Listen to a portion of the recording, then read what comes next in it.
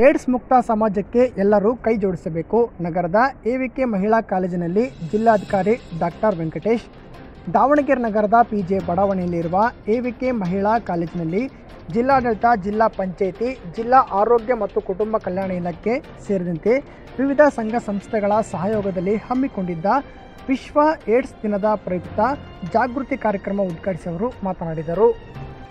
AIDS ಕುರಿತು ನಾವು ಜಾಗೃತಿ ಆಗುವುದಷ್ಟೇ ಅಲ್ಲದೆ ಇತರರನ್ನು ಜಾಗೃತಿಗೊಳಿಸಬೇಕು.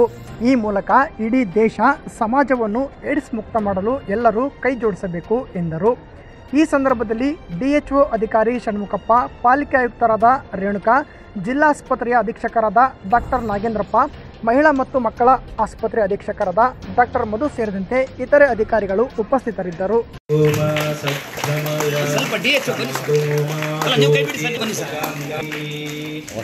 ಹ್ಯೂಮನ್ ಇಮ್ಯುನೋಡಿಫಿಷಿಯನ್ಸಿ ವೈರಸ್ ಅದು ಏಡ್ಸ್ ಕಾಯಿಲೆಯನ್ನು ತರುತ್ತೆ.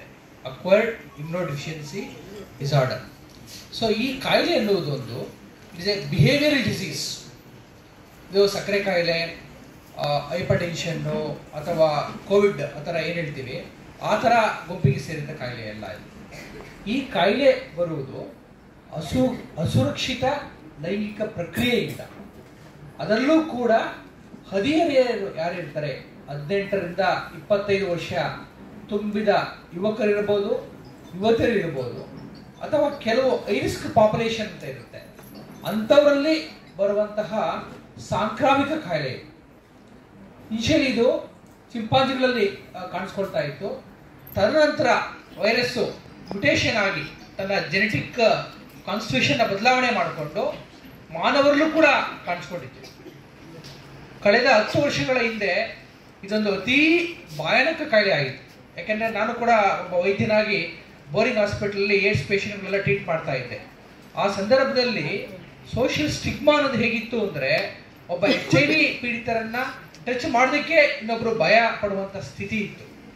ಆದರೆ ಸಾಮಾಜಿಕವಾದಂತಹ ಜಾಗೃತಿ ಜಾಸ್ತಿ ಆಗಿ ಮತ್ತು ವೈರಸ್ ಅಟೆನೇಷನ್ ಆಗಿಬಿಟ್ಟು ಈಗ ಆ ಎಚ್ ಐ ವಿ ಪ್ರಮಾಣ ಅಲ್ಪ ಸ್ವಲ್ಪ ಕಡಿಮೆಯಾಗಿದ್ದರೂ ಕೂಡ ಅದು ಇನ್ನೂ ಕೂಡ is a problematic problem problematic disease ನಾವು ಭಾರತದಾದ್ಯಂತ ವಿಶ್ವ ಏಡ್ಸ್ ದಿನಾಚರಣೆಯನ್ನು ಮಾಡ್ತಾ ಇದ್ದಾರೆ ಇದರ ಪ್ರಮುಖ ಉದ್ದೇಶ ಸಮುದಾಯದಲ್ಲಿ ಜಾಗೃತಿಯನ್ನು ಮೂಡಿಸಿ ಸಮುದಾಯದ ಮೂಲಕವೇ ಏಡ್ಸನ್ನು ತಡೆಗಟ್ಟಬೇಕು ಮತ್ತು ನಿಯಂತ್ರಣ ಮಾಡಬೇಕು ಎಂಬುದು ಪ್ರಮುಖ ಘೋಷವಾಗಿರುತ್ತೆ ಆ ನಿಟ್ಟಿನಲ್ಲಿ ಇಂದು ಯುವ ಸಮುದಾಯದೊಂದಿಗೆ ನಾವು ಕಾರ್ಯಕ್ರಮವನ್ನು ಮಾಡಿದ್ದೇವೆ. ಇದರಲ್ಲಿ ನಮ್ಮ ಡಿ ಎಚ್ ಒ ಮತ್ತು ಎಲ್ಲ ಅಧಿಕಾರಿಗಳು ಕೂಡ ಭಾಗವಹಿಸಿ ಕಾರ್ಯಕ್ರಮವನ್ನು ಯಶಸ್ಸು ಮಾಡಿದ್ದಾರೆ.